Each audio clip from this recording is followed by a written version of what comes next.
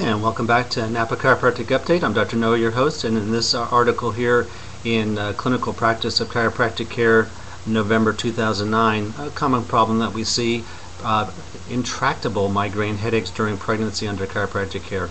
Devastating type of problem, migraines, kind of classical signs, unilateral, one-sided, you know, piercing pain, uh, sensitive to light, photosensitivity, just unbelievable where people pretty much have to stop whatever they're doing here.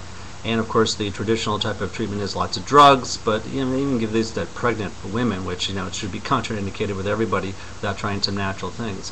Now, migraine headaches in themselves are basically a big problem here. In a lifetime, migraine, uh, migraine headaches for women, which are about 300% more likely than men, range from from 11 to 32% uh, during the year will have some type of problem like this and so they were able to use chiropractic care very successfully from reducing the pain levels to 9 out of a 10 on a visual pain analog scale down to 2 uh, so that's very very exciting especially during pregnancy to save the mom and the baby from toxic reactions. Remember non-steroidal anti-inflammatories kill more people than AIDS does that's right about 40,000 people a year. So we don't want that for the mom we don't want that for the baby we don't want that for the drug companies we want something natural and healthy.